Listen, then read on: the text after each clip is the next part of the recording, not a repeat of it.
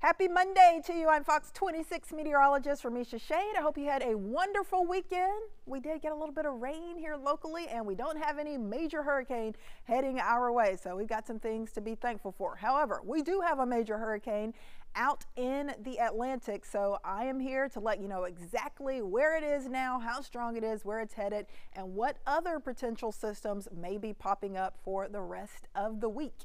So let's get right to your afternoon tropical update for this Monday.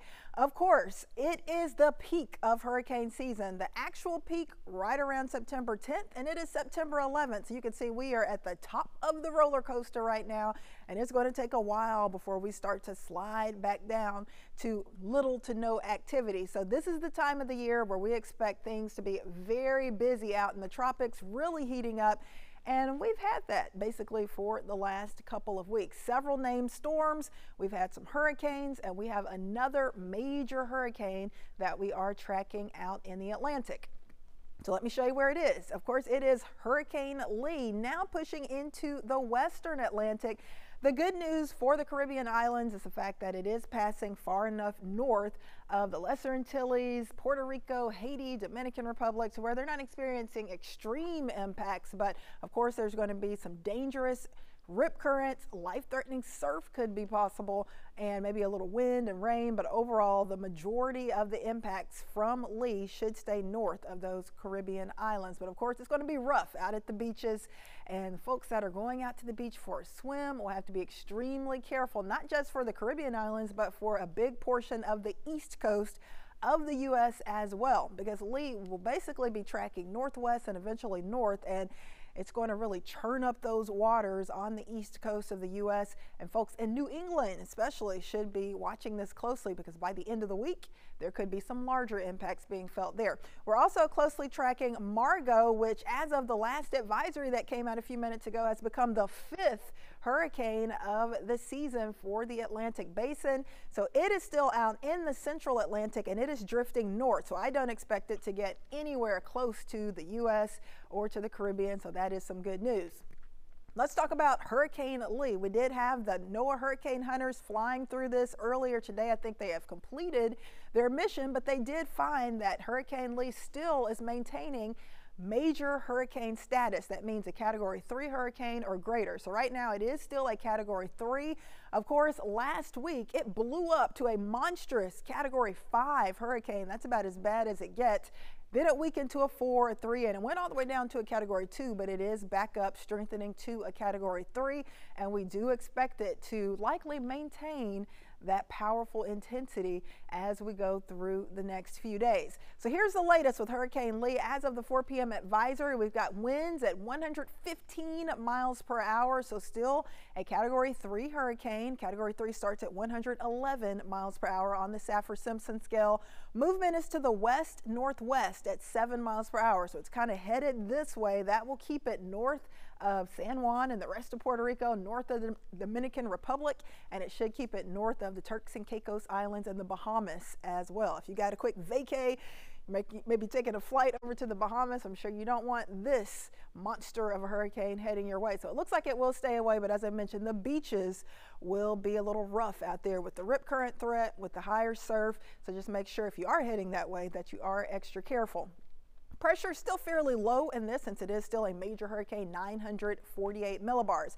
Let me show you the latest track. It is currently tracking to the west northwest. It slowed down a little bit, but we anticipate it to maintain that category three strength at least through the middle of the week. So Wednesday, 115 mile per hour winds. That puts it as a category three. Late Thursday into early Friday, it's likely going to slide just to the west of Bermuda. So we could have some tropical storm force conditions there. But notice it's staying away from Florida, from the Carolina coast, from the mid-Atlantic coast. But look what happens by the end of the week into the weekend. Saturday afternoon, still a category one hurricane, but it could potentially head towards Boston, other portions of New England, or it could head over towards Nova Scotia up into Canada. So it looks like Hurricane Lee could still have some pretty major impacts for parts of New England by the end of the week and the weekend, and definitely up into portions of Canada as well. So we're going to have to watch this one closely, but at least it looks like folks in Florida, the Carolinas,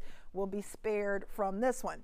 I want to show you the spaghetti model forecast as we go through the next several days, and it takes it almost due north up closer to Halifax, these models at least, and just to the east of Boston. But you have to remember, this is a pretty large hurricane, so impacts will be felt a long ways away from the center. So even if Boston does not get a direct hit, they're still going to be dealing with likely some rain bands, some of those outer rain bands, some gusty wind, potentially a tornado threat, and of course the rough surf and the rip current risk.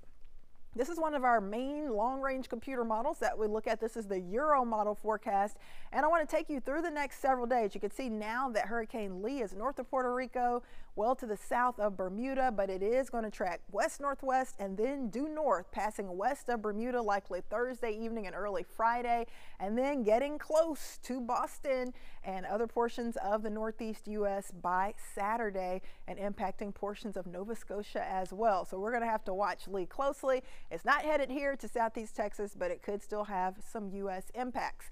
I also want to show you our other main long range model. This is the GFS or American model, and you can see Hurricane Margot there, Hurricane Lee there. Margot stays way out in the Atlantic. Lee will get a little closer to the U.S., especially by the end of the week, potentially causing some impacts in New England. But I also want to point out something else that pops up on this map by the end of the week.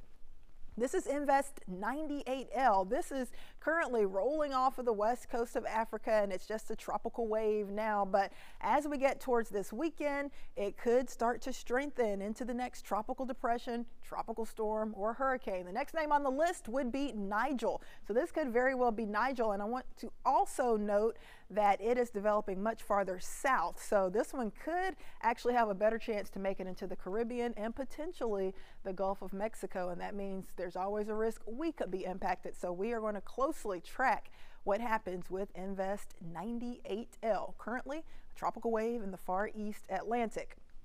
I'll tell you more about Invest 98L in just a minute, but first let me give you the latest track of our newly formed Hurricane Margot. Of course, it was a tropical storm, now up to hurricane status, a category 1, 75 mile per hour winds, movement to the north at 12 miles per hour, and that pressure at 988 millibars.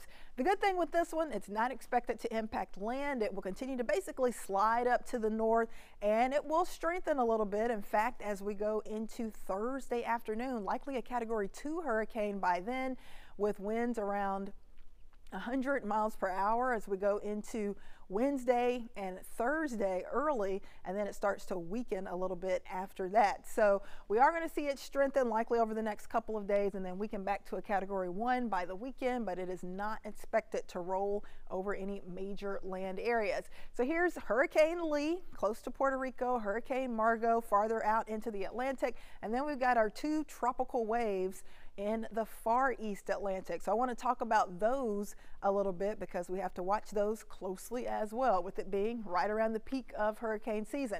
So we've got this tropical wave with only a 10% shot for development over the next two days and over the next seven days, but then we have a stronger tropical wave east of that one close to the west coast of Africa. That one has a 60 percent medium chance for development over the next week. So the models are actually indicating that the stronger tropical wave in the orange will likely kind of swallow up that weaker tropical wave off to the west of it, and they're going to combine, and that will be our Invest 98L, and that is the one that could potentially turn into Nigel over the next several days. So lots to watch in the Atlantic Basin.